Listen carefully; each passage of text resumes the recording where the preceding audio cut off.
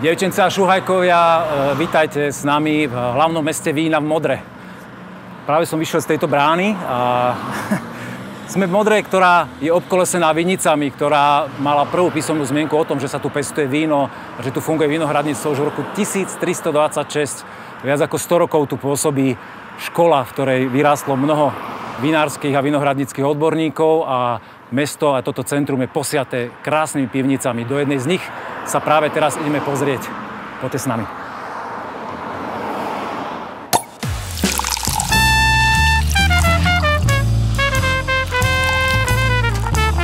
Na dúšok s Petkom.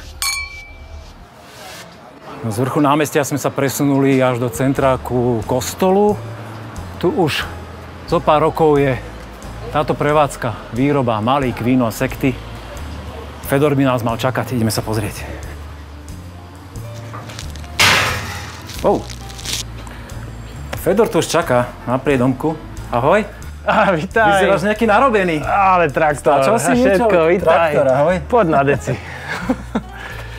Prehodím si toto tu, prístroj. Jaj, tu máš fajnový chládeček teraz. Celkom je teplo vonku. Ťažký deň. No, ale ani nie ťažký deň. No ja som sa tešil na túto návštevu, lebo toto vinárstvo, tieto tu kamene. Jak dlho ste tu v tomto priestore? Od rána do večera. Ale Už kaše si si dal na 10, večeru. 10 rokov sa tu s tým trápime, rekonštruujeme. Ahoj. A na zdravie nech je o čom rozprávať. Mladý Irša ešte, e, ten je tak na úvod, nech je lahučky, dobre sa pije, e, dobre po ňom plynú slova. Áno, áno. E, no, stavba, 10 rokov sa tu trápime, cez 10 rokov, 3 roky, čo je to sprevádzkované, tak nejak funkčne, aj výrobne, aj predajne, aj, aj, aj popíjaco. Takže takto. No, roboty veľa nás ešte čaká, sme tak eh, odhadujeme v polovičke, Mhm. ale v polovičke sme aj s vinohradmi, aj so stavbou, takže tak plynule rastieme. A, Čiže tu striedaš, že dojdeš traktora, tu potom Tak, obhádžeš tak. nejakú stenu, áno. Tu sa Vy- dojdem vykopeš vychladiť, tak, dole, tu sa dojdem vychladiť. sekty a máš to rozporcirované takto ten deň. Odtiaľ to vlastne vydávam rozkazy do všetkých vinohradov. A koľky ste tu na to, na tú stavbu? Tu, Máš sme, tu, tu, majstrov, som, tu, som, funguje? tu som sám na rozkazovanie, potom mám jedného všemajstra, kamaráta, ktorý ovláda perfektne prácu s drevom, s kameňom, Mhm. mm-hmm. s tehlou, staré materiály, je to národná kultúrna pamiatka, takže človek tomu musí venovať takú vyššiu, vyššiu pozornosť, čo sa týka starších technológií stavebných. No a vo Vinohrade bežne 2, 3, 4 a 5 ľudia, cez oberačku 15 ľudí. Takže takto. Zelené práce menej, no traktorista som sám, tak vždycky takto dovedem a A ty máš tú supervíziu nad tým, že aby to, tie práce pokračovali a že ty si ten, ten hlavný, ktorý si určuje, že čo sa bude teraz robiť, čo je dôležité? No Alebo ešte som otec do toho hlavný. rozpráva stále? Tak ho môžeme spomenúť teda Tátko na stále rozpráva. Tátko stále rozpráva, ale tátko, sa, tátko má svoje pole. On má tie knihy, literatúru, Mhm. má zákazníkov, chodí, koštuje, baví sa so zákazníkmi hlavne. No, Stavebne, stavebne už... už, už Je to na tvojich pleciach. Asi tak, asi okay. tak. Veľmi pekné vínko, mladučké, také kvetinové. Laučke, skoro sa oberá prvé hrno, už v polke augusta pomaly, posledné roky. Skoro žiadna farba, my to máme No, to radi. nevadí. Rýchlo, rýchlo vylisované, Presne. aby malo tú kyslosť. Mne veľmi imponuje, že suchučké to víno. A jak je vychladené. A jak je vychladené, orosený pohár, všetko, jak má byť. Všetko, jak má byť na otvorené viechy. A viem, že tam vzadu aj boli nejakí hostia. Ideme sa pozrieť, ako to tu u vás funguje na tých viechach. Môžeme ísť na to, budú viechy, teším sa na ne asi prvýkrát, čo sme sa zapojili. No a uvidíme, jak to dopadne. OK. Na dúšok s Petkom. No Fedor, sme tu na zadnej časti vášho dvora. Tuto ešte sú nejaké vínka. Stále sú tu? Stále sú tu, sú vychladené. Super, super. Aj toto vínko je vychladené, čo si Aj doniesol? toto je, samozrejme, že ti nalejem. No, tento A- projekt Otvorené viechy, to je taká zaujímavosť, lebo ja viem, že to vychádza z historickej tradície, keď kedysi bolo právo výčapu a dlhé roky, desiatky rokov dozadu, teda kým nenastúpili tu po 48. tí naši panovníci novodobí, ktorí tom, tomu neprijali, tak tu fungovali veci, že vinári mali otvorené priedomia, pivnice, alebo teda priestory, ktoré e, boli k dispozícii a našťastie sa k tomu teraz táto doba praje a že sa vraciame k takýmto projektom, ako sú otvorené viechy a už to teda beží. A ty budeš tiež súčasťou? Teší za čo teda povedz? ďakujem, strašne sa na to teším. E, je to, je to, taká, je to taká pripomienka, nie je to úplne tá tradičná výcha, čo bývala to právo výčapu, vtedy to bolo vlastne aj taký dosť významný predajný kanál, teraz je to skôr o takom stretnutí so zákazníkom, také, e, aby, aby prišli, spoznali vlastne, lebo tí ľudia za ten čas, ako si hovorili, tí, čo nám tu vládli, ako keby zabudli, že, že sme vinárska krajina, no. sme tu taká oblasť, kde sa víno vyrába a hlavne, kde sa víno pije. To znamená, aj ten styk so zákazníkom cítim, že ľudia sa boja chodiť e, do vinárstiev, boja sa zazvoniť, nie sú, sú takí hambliví skôr, sú takí hambliví, ale hambliví, áno, hambliví. Takže ono, ten projekt je dobrý na to, že otvorí tým ľuďom vlastne takú, takú možnosť konečne nazrieť do tej kuchyne. Super, a ja som teda počul aj, že tam sú naozaj vinári, že od Jura cez Bezinok, Modru, až po Dolany a Šenkvice, že naozaj široký záber a striedate sa štvrtok, piatok, sobota. Myslím, dokonca, že sme nezabudli doko... nikoho, no. dokonca, že vraj si majú dopredu kúpiť lístky a budú vybraná partička a v komornej atmosfére, ako my dnes dvaja, si o tom môžu pokecať a že sa im ty osobne budeš venovať napríklad? Keď Je to, to taká privátna, privátny formát, to znamená, že si kúpia lístky, ja sa im budem teda osobne venovať, samozrejme eh, veľmi dlho sa im budem venovať. Eh, niektorí aj odchádzajú, niektorí tu zostávajú dlhšie, potom sa večer ešte Máš urobený na dvore, V poriadnej vieche by si si mal zaspievať, no, takže má, máme tu také priestory, kde môžeme hulákať do rána, okay.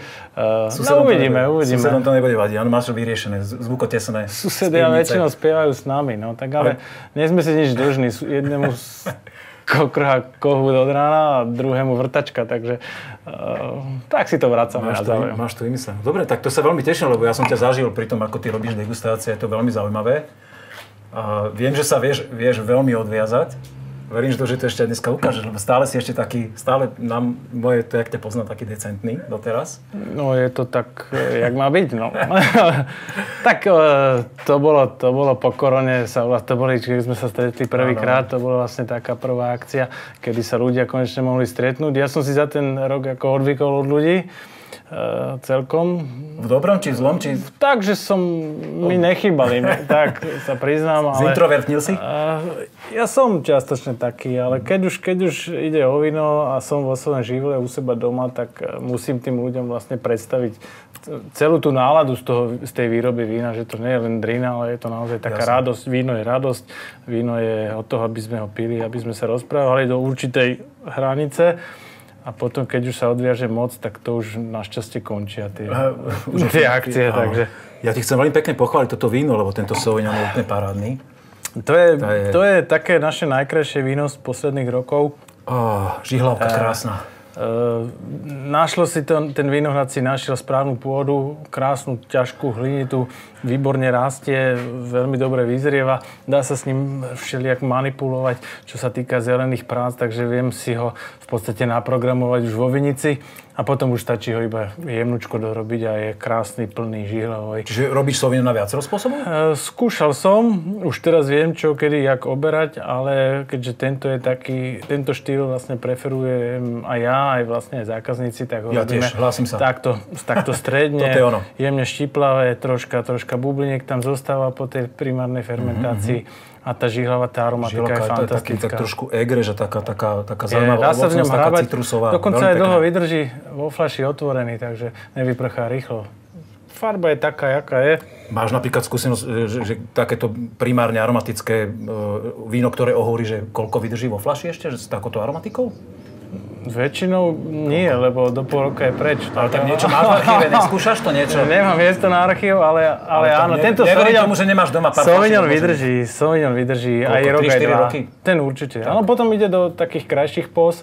A skúšal som ho samozrejme aj v drevených súdoch, aj tak mm-hmm. aj do sektovej technológie, čo sa teda ráta už potom e, životnosť do, do rokov a, a vydrží, vydrží krásne. Takže to je, to je ale tá kvalita tej pôdy. Takže Super. Som rád. Mladý vinohrad. Tak. A spomenuli ste sekty, aby som sa rád išiel pozrieť do tej vašej sektárne. Pôjdeme na to, ale najprv dopijeme ten Sauvignon. Ale vlastne ešte sme si pozreli, skoro sme zabudli. Ešte, ešte sme si chceli okoštovať predtým, jak pôjdeme na tie sekty... Nejaké... Červené hadice uleješ, či nie? Tuto, toto základné víno je zachladené, takže objem sa zmrštil. Musí človek troška povoliť. Vzduchu. No. A spadlo vinárstvo. No, dobre to je. To sú tie ruky. Pohodne, všetko prežilo? A je to z nerezu, malo by to, malo by to byť. No, tečie. Čiže základné víno, toto je na sekt? Základné víno? Aby sme sa teda pripravili základné víno, rúlandské šedé, ja ti dám. Počkaj, ale teraz hovoríme o tichom víne alebo základ na sekty? Základné víno na sekty je tiché víno. Jasné. Vonku vymrazené v zime, všetok vinný kameň, ktorý tam bol, sa vymrazil. Teraz je držaný pri veľmi nízkej síre, aby, aby nezoxidovalo, lebo to je oberané veľmi skoro, má nízky alkohol, takže také víno by sa v normálnych podmienkach a v teple veľmi rýchlo zlomilo. Ale teraz To je, vlastne to je na klasinka držené, že to je ne- nečírené. áno? musí byť Je to- troška, áno. hej, nečírené. Teraz Je sa to zamieša. áno, že, že to je také... No a do základného vína teraz ide cukor, kvasnice, hodíme ich do sektových fliaž a, za 5 rokov máme víno jak, jak lúsk. Krásne Áno, kyseliny. Kyselinka. No, Až moc. tak nie je to víno na, na, pitie, na pitie takéto, ale že ty vieš, ešte, čo, čoho ešte čaká, aká cesta, práve si to povedal. Robíme to už, už cez desiatku rokov, takže vieme, že aké kyseliny by to malo mať na začiatku a toto už sa pomaličky blížime cez 10 gramov a je to víno teda, ktoré bude roky zrieť vo flaši, takže to, to nastavenie už na začiatku je veľmi dôležité. Oberá sa naozaj veľmi skoro, 2-3 týždne pred klasickou oberačkou a to víno je v základnom stave kvázi nepitné. Oho. My vypijeme. Zvládli sme to, My vypijeme. zo zvedavosti samozrejme, nie je to víno, že by si si dal flašku za večer takéhoto vína. Takže niektoré odrody sme vyčiarkli z nášho zoznamu sektovej prípravy, ale Rouen Chedy, Chardonnay, Pinot Blanc, Rúžová Frankovka, tí postupili do finále a, a Pinotové odrody, klasika, veď, fra, francúzsky štýl, tak oni, oni vedeli, prečo to na čo, dávajú na však. čo by sme vymýšľali niečo nové, keď oni to majú overené. Ale to je aj o tej pôde, lebo máme viacero odrod na iných pôdach a naozaj, že ten pinot je troška iný zo skaly, ako napríklad Mhm. mm-hmm. z zílovitej pôdy. Tak to za tie roky človek zistí, že ktorá odroda z ktorého vinohradu je dobrá. No a už sme to viac menej zistili a teraz sa hráme s tým, s tým načasovaním e, toho sektu základného, toho No základného vína. Lebo to, to, to, tá fermentácia v tej flaši, to už je taká, také prekvapenie. Také, Tak si ma navnadil, že ja sa celý trasím na to, aby som si išiel pozrieť, jak vám tie flašky tam z- Aj si- zrejú. A môžeme si ich aj potáčať. A... Aj si sekneme. Aj si sekneme? Musíme. No. Ideme. Na dúšok s Petkom. Už sa nachádzame v historickej pivnici tohoto domu, ktorý predstavujete. Koľko má rokov? Táto No to pivnica? datovanie je tam od tej barovej časti, ten bar bol ako prvý postavený Pred niekde. troma rokmi bar. Ideme do histórie. No, no kedysi Modranské námestie bolo 7 metrov odsadené, troška od toho hlavného námestia Mhm. a tam to začalo takou malou miestnostkou, pitvorikom, možno nejaké 15. 16. storočie. Medzi týmto samozrejme, vtedy boli ešte drevené domy, takže tie pozostatky toho vyhorenia tam stále nachádzame v tých, Wow. tých, tých múrivách. A potom postupne začali 16. 17. storočie dostávať ten predok, potom to išlo cez nejakú od toho, od tú renesancu cez baroko až, až, až, až, až, až, až do teraz. Táto, A tu sa kde zastavili? V, to, v ktorom? táto, štýle? táto, táto pivnica je dobe, robená možno 200, 200 rokov, sa tak ťahne. E, najstaršia časť je tu, kde sa nachádzame, mm-hmm. tuto je oddelené a potom každá tá generácia rodiny vždy zvyšovala ten predaj možno a aj potrebu niečo ukladať, tak vždy dorobili určitú časť, zahádzali zemou, urobili taký šalung drevený, kamenné, kamenné, kamenná, kamenná klemba, no a, a- postupne dorábali. Toto je jedna z tých menších modernských pivníc, tento dom možno originálne tom usudzujem, že, že asi nebol úplne vo vlastníctve nejakého vinohradníka, lebo vinohradnícke domy sú naozaj veľké domy, obrovské, loďové, e, chrámové, chrámové pivnice, toto je skôr taká menšia, možno nejaký kupec, nejaký prekupník, ktorý samozrejme ako Modran mal právo vlastniť vinohrady a dorábať víno. Ale zase, ak sa pozerám od toho konca po henten, tak tých fľašek sa tu zmestí dosť aj na zretie týchto sektov. zmestí. No to je jediná nevýhoda tých sektov, že vlastne zaberajú miesto, že sa neutačajú tak ako bežné vína, že musia tu zo pár rokov zrieť. Teda, jak sme sa bavili teda hore, tuto je pivnica iba na takéto zrenie tej, tej, tej druhotnej fermentácie, to znamená, urobíme to základné víno, zamiešame s cukrom, so špeciálnym kmeňom kvasiniek, Sacharomice z Bajanus, zavrieme to takýmto tým pivovým uzáverom, no a kvásí to A tu. toto je tá najdôležitejšia časť asi, nie? To, tej Tá najmenej námahavá, ale asi Áno, najdôležitejšia. že Chceme tam tie tu sa, o tom rozho- tu sa o tom rozhoduje teraz, Tak, ako to bude tak, vyzerať. tak. A aj tá teplota je tu taká optimálna na to zrenie, na tú, na tú fermentáciu, no sa tak pekne pomaličky ťahá. No a za tých 3, 4, 5 rokov, podľa toho, ako sa ten sekt vyvíja, teda odstrelujeme sekty a už idú teda možno do predaja. No to zrenie je teda ale dlhodobý proces, samozrejme medzičasom ho treba koštovať, ale tá výhoda tých sektov je, že Že koštovať ich síce môžeme, ale ovplyvniť to už nedokážeme. Chceš pomôcť s tou koštovkou, že by sme to skontrolovali? Skúsime či, či, či je to ho, ale procese? keďže, keďže všetky, všetky fľaše, čo sú tu, majú okolo 6 barov, treba vždy nosiť ochranné prostriedky, takže Tak, ty a- máš dobre, okuliare, okej. ja, si dám, ja si dám toto. Ja je to to. rulandské biele 2016. Nebude to asi veľká strela. O, bola. Pohode. No, fantastické. Hm, pardon. No je, už teraz to dobre voní. No. Takže vždy, vždy, keď aj cez tie viechy, cez tie, teda po správnosti by som mal zachladiť no. tým prvým dúškom nejak pohár, dať to na 45 stupňov, potom to troška dopeniť, mm-hmm. jak Pilsner Urquell. Čiže nejdeš si úplne podľa tých francúzskych štandardov? Alebo... To sa k nami teda vo všeobecne moc Trngáš sa s takýmto? Ešte víno? Ale ktoré- áno, však vítaj Že u nás. ktoré, ktoré nie je Prežili sme to bez zranenia, takže je to dobré. No, 2016 tá, tá už by mohla ísť do predaja, nie? To už Tá už bude... pomaličky ide, toto sú vlastne degoržované flašky, ktoré Mhm. teda prešli tou fázou toho odkalovania na tých špeciálnych pupitroch, tých stojanoch odkalovacích. Trvá celý ten proces odkalenia 21 dní, potom sa vlastne takto preskladňa a čaká sa, kým ich odstrelíme. Odstrelenie je jednoduchá, jednoduchá jednoduchá manipulácia, zachladí sa ten... To už sme si áno, s jedným, jedným z pod- z podcastov ukazovali do tej tekutiny, ktorá má nejaké minus 25, len hrdlo sa ponorí. Za dve minútky z nás Vlastne, viac sme si o tom rozprávali, ak sme si to ukazovali, ale My te- ani tu si to asi neukážem, lebo nemáš túto technológiu teraz. Asi. Mám ju hore, ale tam- nemám ju zapnutú, ale je to v podstate najjednoduchšie a to, čo odstrelím, musím doplniť. Doplňa sa dozážnym likerom. U nás teda funguje, no, nastavili sme si to zatiaľ tak, aby sme čo najviac poznali to víno. Dávame, dávame len víno a síru už do, do toho dozážneho likeru, takže u nás sú všetky sekty v kategórii Zero, Zero, Brut, Zero, Brut Natur alebo Extra Brut. Alebo... Čiže to do, do 3 gramov výškové do troch, väčšinou, keď dobehne tá druhá fermentácia. Suchučké. Úplne Ale suchučké. zvykli si na to zákazníci, áno? Že, alebo ty, No je to, je musia to, si, Alebo, alebo je to štýl, ktorý ty, ty chceš raziť proste, že takto to je hotovo a komu sa páči, sa páči a komu nie, nech hľadá inde? Robíme to, robíme to 10 alebo, rokov alebo a skúšaš aj iné, iné, iné a za 10 kategórie. rokov teda čerpám stále tie informácie z tej technológie, lebo nikto to tu nerobí, nemám e, Tak, kde, myslím si, že už sa celkom rozbiehajú, že nie je to úplne pravda, že nikto nerobí. ale to, Niektorí vás dobiehajú. ale nemá ne- s, ľuďmi o čom vlastne sa baví, lebo nezvlád, nemajú tú technológiu doma a nevedia úplne, že čo ktorý proces ovplyvňuje. To znamená aj tá odroda, kedy oberať, ako oberať, ako streliť, e, kedy tečie. Mal som aj také ťažšie ročníky, že strieľalo 50% vybuchovalo. Takže a to s človekom, ktorý si to bežne doma teda neprejde tou fázou, áno. nemáš ako rozdebatovať také, také problémy. Ale za tie, tie problémy, tie, tie najťažšie máme za sebou a teraz sa naozaj hráme iba s tým, ako, ako to víno urobiť v základnom stave. A samozrejme, keď dostaneme do, toho, do, toho, do tej fľaše víno, ktoré má naozaj ostré kyseliny, budem rozmýšľať aj, aj nad tým, že ten expedičný likér budeme doľaďovať s troškou, troškou cukru. Áno. Sa to veľmi páči, len je pre mňa zvláštne, že sme v tej pivnici, ktorá má taký zvláštny svoj odor a nie úplne cítim teraz... Cítiš ho, či nie? Alebo možno ty si zvyknutý, že si tu dennodenne. To je pivničný odor. Pivničný, ktorý, a že, že aj keď ten nos tam ponorím, stále sa mi to mieša s tým, že neviem to úplne... Ale ako je veľmi pekne nazreté to víno, víno už teraz. Je tam už ten, ten jemný biskvitový tón cítiť. Akože, Je, je. Ja ti súhlasím, môže to ísť do predaja. Dobre? A keď pán profesor sa bude pýtať, otec, tak povedzme, že ja som odsúhlasil. Tatko z hodou okolností s týmto pinotom e, najspokojnejší No veď, povedal. tak to Jemu si dobre otvoril je to potom, pekné, áno, áno. mohutné, Ja mohutné, súhlasím. Nazreté, nazreté víno. No je také troška ostrejšie, má také mm. troška horčinky, ale to presne patrí k tomu, tomu, tomu teroáru, k tomu, k tomu ročníku napríklad. Budeme robiť aj ročníkové vína.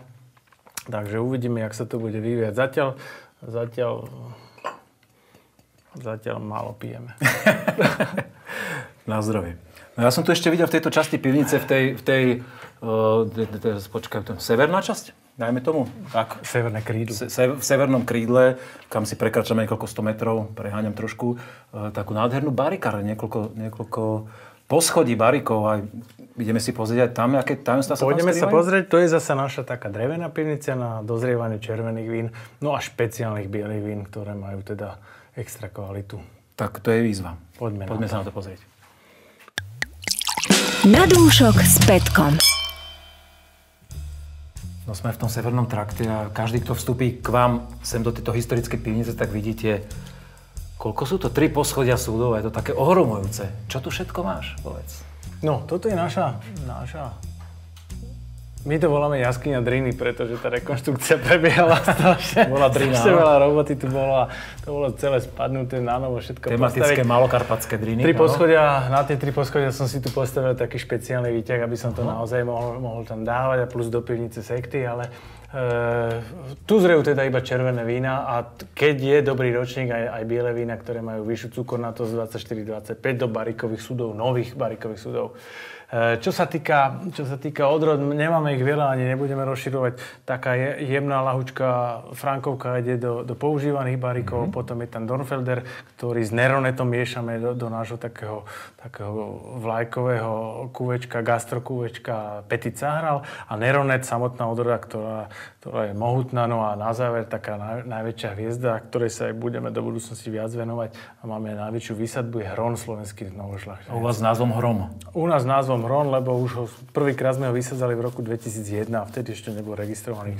Tak e, medzi tým sme vyskúšali rôzne polohy, ktoré mu vys- vyhovujú v modre. Zistili sme, ktorá mu tak asi najviac vyhovuje.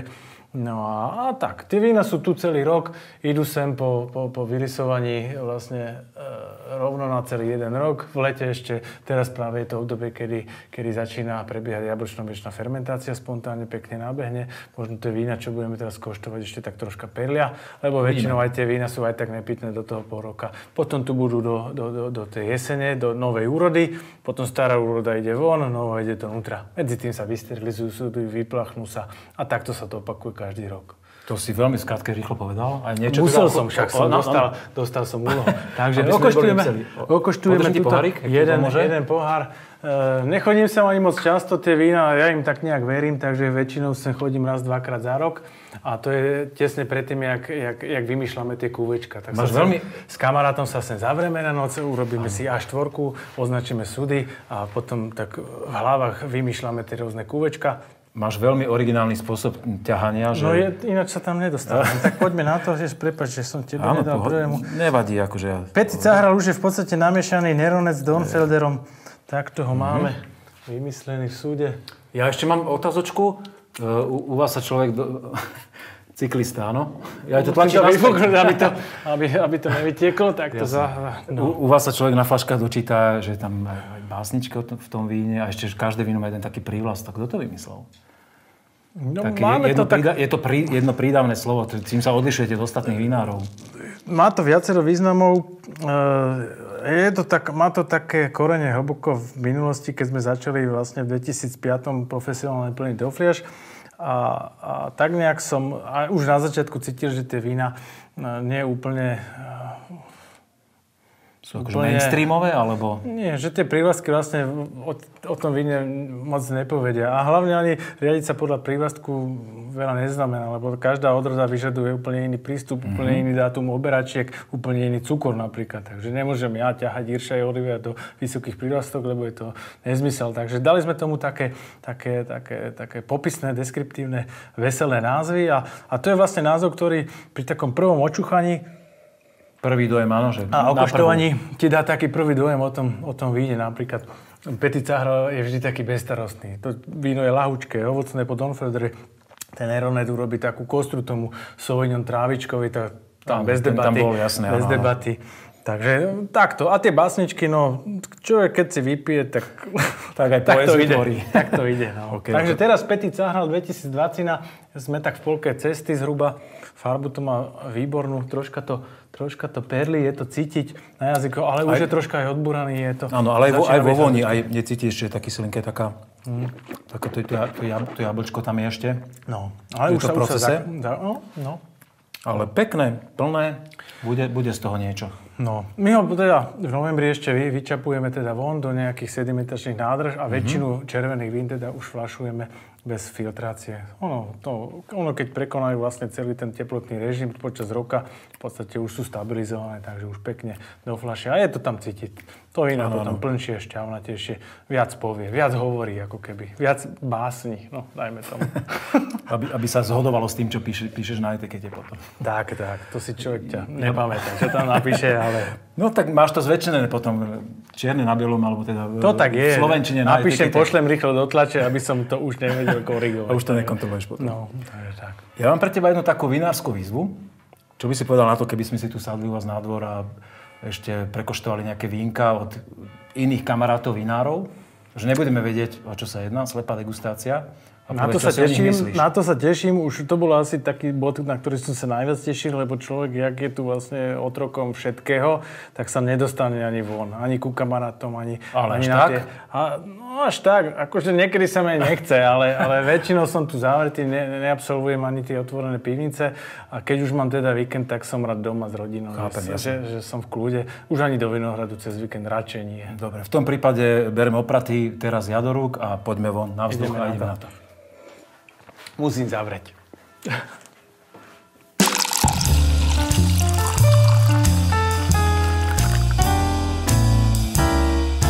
Slepá degustácia.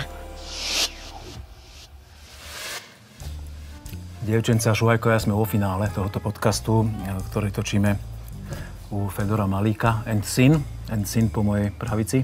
Sons. And Sons. Uh, slepá degustácia. Pribudol nám tu nejaká nová biela tvár, tak prosím ťa povedz, že uh, koho si si pozval ako hostia. Táto biela stopatá tvár, to je kamarát Peťo. Je Ahojte. to Ahoj. jeden z najlepších keramikárov v okolí. Uh, Venuje sa teda výrobe keramiky hlavne. Uh, Prebral to po svojom tatkovi a, a, a však povedz nám niečo, čo vyrábate.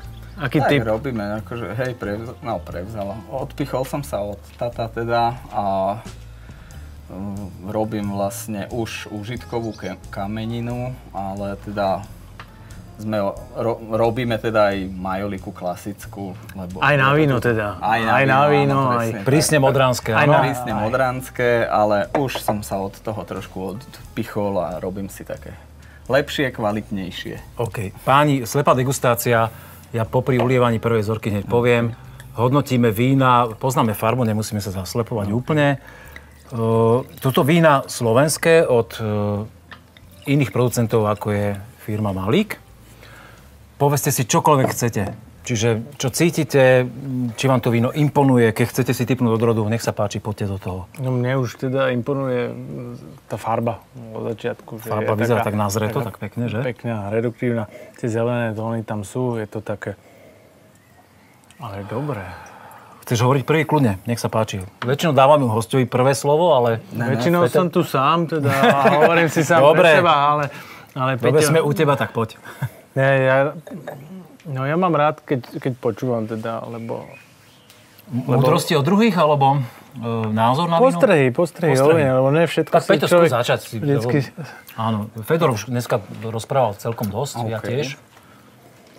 Na mňa to má trošku málo kyselín, ale môžem sa mieliť. Nie som až taký odborník, ale je to príjemne veľmi láhodné. Trošku mi chýbajú kyselinky v tom. Tak to si prísny teda. Podľa mňa to má kyselý Kyselý dosť, ale má to aj vyladený taký troška zbytkový cukor. Možno to je Sauvignon, je to taký pekne vyšťavený, nazretý, možno kryom macerovaný. Vyzerá dobre, lebo tá farba je taká robustná, pevná, zelené odlesky, to znamená, Aromaticky sa ti to fakt zdá na Sauvignon? bola... Je to také šťavnaté, no. Šťavnaté áno, ale my si akože Taký troška, taký broskyňový, možno broskyňový Sauvignon, možno to môže Ale? byť hoci čo iné. môže, to, môže to byť aj, aj Sauvignon. Vidíš, ja som myslel, že to je vlašak. Alebo, vidíš to, Inak. preto si pozývam kamarátov, že oni vlastne Akože ja som prešiel už o Veltlín, Vlašák a teraz je ten Sauvignon. Čokoľvek by to teoreticky mohlo byť. Ja, že ty nevieš, čo to je. Ja neviem. Aha. Ja keby som vedel, tak sa nebavím o slepej degustácii, ale to by som to Kyselá, machroval. pekná, potom. To, to, tak to nie. bude, uh, typujem možno ročník 2020. Krásne víno, mekučké. To je také akože profesionálne láhodné. víno. To vyzerá, že to robil niekto, kto to teda Kto už vie. robí dlhšie, kto už vie, jak ho spracovať. Uh, nie som si úplne istý, že je to z jeho vlastného vinohradu, ale, ale A ako to môžeš odhadnúť toto? lebo je to taký profesionálny typ vína. Všetci tí profesionálni veľkí výrobcovia nemajú veľa vinohradov. Dobre, Na čiže... Slovensku to a, tak A ty chodí, nerobíš no. víno profesionálne? Uh, robím, ale nie také dobré. Takže pochváluješ si, áno? Že, že Je výborné, Je výborné, je, tiež, je, dokonal, akože- je to v podstate taký typ dokonalého vína, ktorý keď človeku naleješ, nemôže sa stiažovať, lebo je vyvážené, má aj ten zbytkový cukor, má krásnu, čistú aromatiku, fakt, fakt pekné víno. Pre mňa víno na zlatú A farebne. akože teda ja osobne mám najradšej, keby som mohol šťavnaté. koštovať iba očami. No, môžeme druhú zorku tak No, vyskúšať? A to môžem dopiť? Ty, No, jak chceš, akože, ale môže sa k nemu aj vrátiť počase. Už som dopil. Peťo už dopil, akože tak ten sa neokúňal. Tak som titulovaný konzument. Peťo je dobrý, lebo Peťo mi vždy pomôže, že ma tak potom hlava neboli. Také na druhý deň. Tak v núdzi nájdeš kamaráta vždy, to je jasné. A, aby si si nepomiešal, prosím ťa, teda, toto je vzorka číslo 2, dobre? To sa nedá. Ja, nedá, OK, dobre. Keď, ako si má skúsený, skúsený degustátor, určite. No, No, vzorka číslo 2. A to je taká staršia podľa mňa na vôni. presne. Úplne iná aromatika. No. Troška taká horčina dozadu, plné šťavnaté víno zasa. Ja mám rád teda aj pri tých vínach, keď je tam aj tá horčina, lebo to vlastne súvisí so spracovaním hrozná, že človek sa s ním viacej troška... Peťo, ty chceš niečo bližšie? Konzumentsky povedať? Analizujem. Ešte prebieha analýza. Ja tam cítim výraznú jablčkovosť. Prvý dojem je proste pre mňa jablčko. Á, jablčko. Z pivnice, jablčko z pivnice. Mm. Tak po pol roku. Musíš ich pretriediť ešte. Ú, ale teda túto odrdu. To bude aj vysoký alkohol, je to cítiť, že to toho je to, je to, je to mohutné to víno. bufka, že to bude nejaký výraz sa mi, že... viac. Áno, áno. No možno také nazreté, nejaké Chardonnay alebo také niečo To by ťažšie, možno aj takú- takú- 2018-19. No, aj väčšiu dekantáciu, až dlhšiu teda. Ale nie. Nie? Už je, už je, je to už akože hotovo, áno? Že vieš to teraz okamžite zanalizovať pohári. No, áno. Pán je znalec, ja to rešpektujem. Pán nie je znalec, ale však tie farby stále, ten odlesk ide do zelena. To znamená, je to relatívne mladé víno. Tou dekantáciou by si možno zvýraznil. Možno, že Mhm. Kamera to bolo, zabere do zelená záber. možno, že to bolo robené aj troška v súde, vieš, že, že potom má Mhm. viac, viac toho súdu z toho vylezie. Ale dobre, no. Ty tak typuješ Chardonnay, áno? ja typujem, Peťo, že to bude také nejaké? No, Neviem, ako tie horčinky. Ja tam horčinku tam- necítim napríklad vôbec. Akože zaujímavé. nie je tam vzadu na vzadu, podľa mňa. tu, tu, tuto. Hej, presne. Ja, mi to na končí tu. Ja, ja, nejdem až sem. No my v Akože rodine s tými horčinkami máme problémy, takže ja preto pre istotu poviem, že... Rodinná anamnéza si vytiahol? Je, je, je, je. Pán profesor sa nenahnevá, že, že povie? na, na, že si na povedal? organoleptických skúškach e, máme vždy problémy s, s, s horkou chuťou, ale, Mhm. ale, je to, ale to, to není negatívny vnem. Tá, tá horkosť tam do toho patrí, jak som spomínal. Akože je to Ale- príjemné, ke- také dezertnejšie víno podľa mňa. Také, Je to od tej v porovnaní 6. s tým prvým je to, to akože Od presne, 6. do rána. Jak No. som vravel, že tam nesú Toto tie... je do 6. víno prvé a druhé od 6. áno? No. Je to síce Ja anonimná napríklad- degustácia, ale je to tak nejak uh, logicky zoradené, takže niekto musí vedieť, čo tam je. Páni, ja si v tejto zorke vôbec netrúfam povedať. Fakt, neviem. No. Ale dobre. Ja sa k tomu ešte... Zatiaľ technologicky pardon. pekné. Chytil som pekné. prázdnu flašku, som zabudol, že tu máme v naliaté. Červené víno, nech sa trošku Aha, to akože vyvetralo. Ja, ja, ja sa ešte k tej druhej vzorke možno vrátim, ale nevadí. Ujeme teraz to, toto červené, ktoré sa trošku takto vydýchalo pri tomto našom Mm, krásnom kúsku skla. Tá karafa je super. No. Veľmi taký dáš typ. je, je, jemnu, jemnučký kus. Babke na Vianoce. Babka sa určite Babka je poteší. zberateľka skla, vieš, takže... Tak fajn. Hra, hra na tubu, možno. No, alebo... Nech sa páči, červené vínko zhodnotíme. Mm, to je pekné.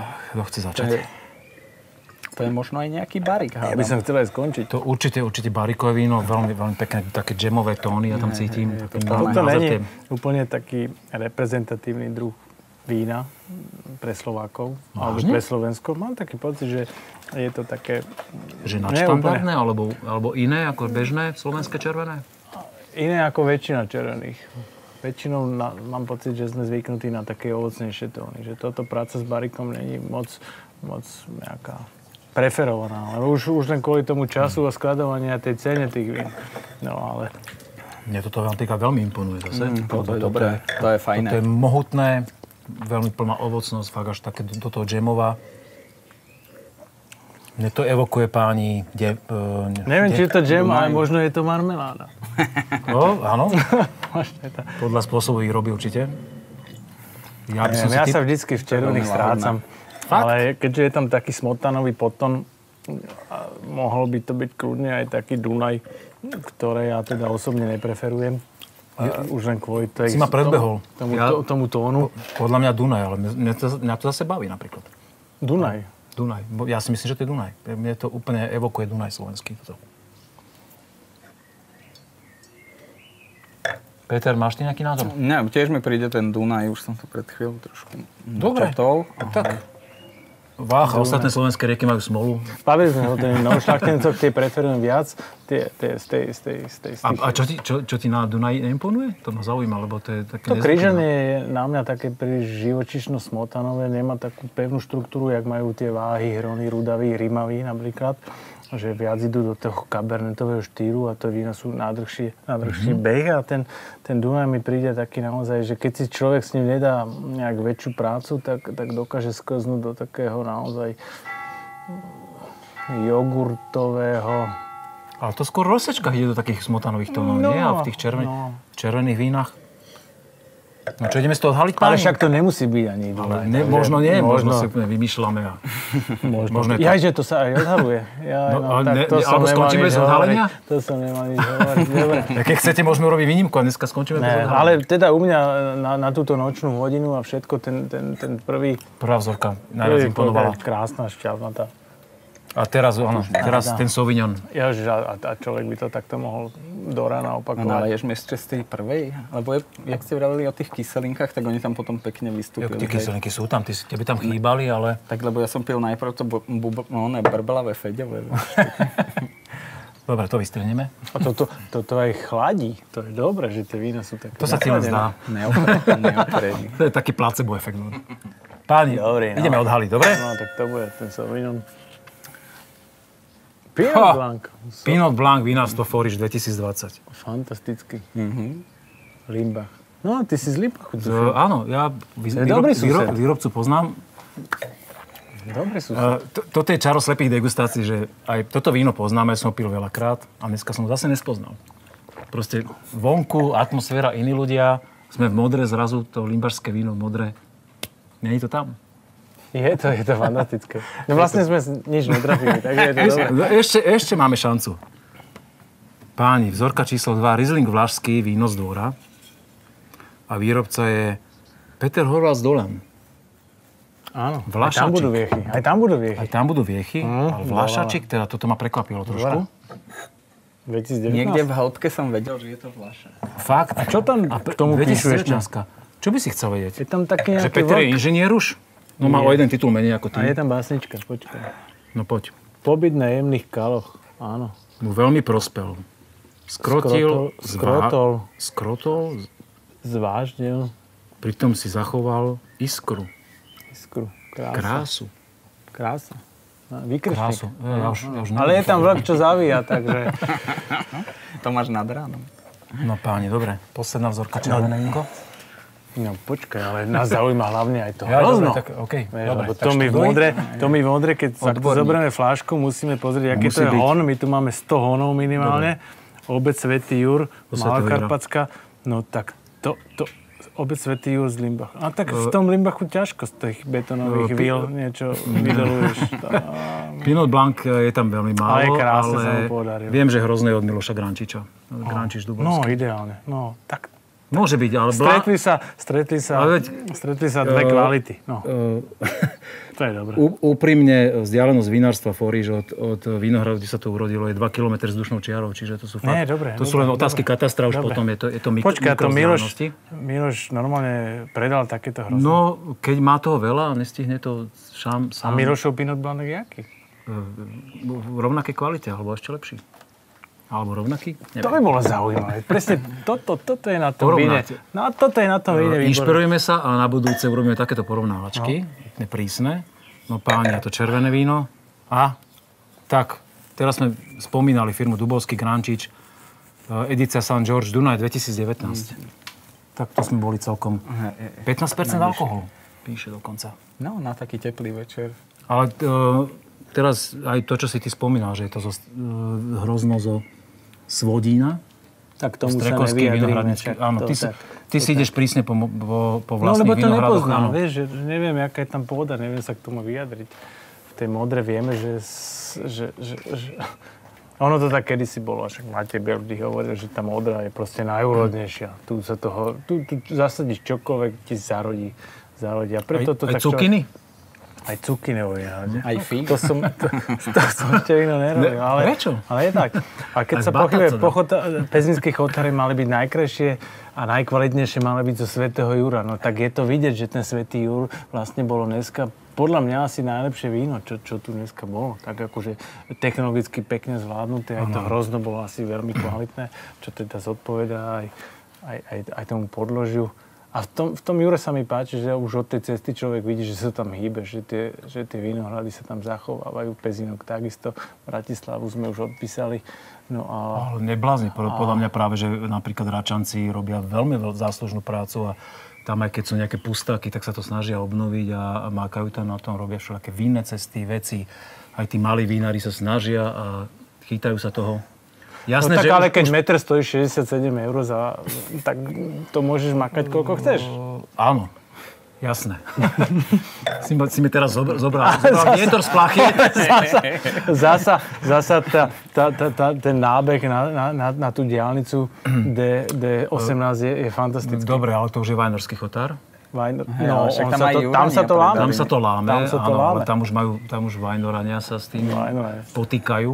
No. Ale myslím si, že Račanci No, fakt, že nabehli dva, posledné minimálne dva roky na Račanský takú vlnu, zase. že sa veľmi snažia tí vinári. Napriek tomu, že sú menší, ale snažia sa tam zachrániť tie vinice. Ja som to Ja nespomínal, ale ja som v Rači robil asi dva roky. No, takže viem, kam to išlo. Ukáž prst. Ja aj to nič to. Ale, ale viem, kam to išlo, kam ten vzťah smeroval v tej Rači. Bolo ale to, to také bolo, to bolo smutné. v ktorých rokoch? 2009, No, 10. tak to sa, je, vieš, 10 rokov. Viac 10 potom rokov. sa to zmenilo. Zmenilo sa to, našťastie im zostali nejaké vinohrady a, a, a, a, a, a snad tam budú aj mladí vinári. Je ich tam troška menej. V tej modre, tá modra má takú výhodu, že tu, tu tie vinohrady sú dostupnejšie a bolo tu ešte veľa takých vinárskych rodín, ktorí si zachovali kvázi tých potomkov, ktorí sú ochotní sa tomu venovať a ísť do toho rizika, tých hypoték a tak ďalej a kupovať novú pôdu. Takže tu, tu sme v rámci tých, tých spolkov a tak ďalej. Naozaj je tu veľa mladých vinárov, ktorí majú vinohrady. V tom chotari je to vidieť. V tom Juri, e, e, tam, tam je to trošku ťažšie, tam ten tlak je väčší, ale však čo sme takí skeptickí, že? Ale no, Ale e, tlaky sú všade, aj, v Limbachu, aj v Pezinku sú tlaky a všade na, tý, na tom päti Ja len teraz musím povedať, že je to treba, tak. teraz je to obdobie, kedy treba obetovať všetko tým vinohradom. Lebo to je vlastne to najdôležitejšie, čo nás bude živiť a čo vlastne tvorí tú krajinu. Takže aj tí mladí vinári, čokoľvek, čokoľvek, ten Sauvignon je dobrý. Dobre. Je to Sauvignon? Dievčatá švajkovia. Sklzli sme do úplne in- iných vôd a začali sme filozofovať a e, zväčša mám na konci tohoto podcastu pripravené ešte také e, tri zásadné otázky, ale keďže dneska Fedor ich na všetky už zodpovedal, bez toho, aby som sa Pokračujeme. pýtal. Pokračujeme. Dobre. Pokračujeme už mimo záberov kamier a chceme sa s vami rozlúčiť. Ďakujem veľmi pekne za pozvanie sem dnes e, do Ja firmy. ďakujem za pozvanie. Fe- Fedor Malik A ja and ďakujem. Syn. Vy ste mňa pozvali. dnes- Ja. Peťo. Peťo, ďakujem pekne za asistenciu. A Ani sme nestihli vyplúvať. No, Ne, lebo sú dobré tie vína zase. Čo Môžem to dokončiť, páni? Ja, pardon, áno. Ďakujem pekne. Veríme tomu, že sa vám to páčilo, že ste sa niečo nové naučili, že ste spoznali vinárstvo, ktoré stojí za to, tieto krásne priestory, aj veci, ktoré robia.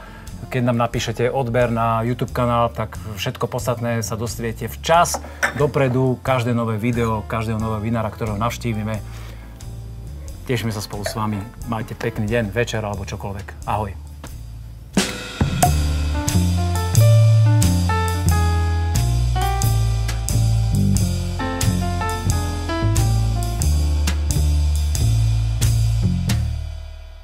Dievčince a šuhajkové, ak ste vydržali dopozerať titulky, tak máme pre vás dnes e, výnimočne špeciálnu prílohu. Tá sa volá Sabráš. Fedor, ukáž. My sme sa bezpečnostne vybavili, lebo BOZ a PO je veľmi dôležité. Máme na, to, vš- práci. máme na to všetky certifikáty. Naozaj treba s tým zachádzať opatrne a iba profesionáli by mali s tým zachádzať. A kostolný zvon nám to potvrdzuje. Stále, správne. Je, je 5 hodín ráno, Ideálny čas na, na Sabráš. Poď, už to takže nezdržím. E, Ideálne, keď máte ťažké železo zaostrené, cekra alebo nejaká motička, šabla. také Vykopávka z Veľkomoravskej ríše, pohode, E, áno?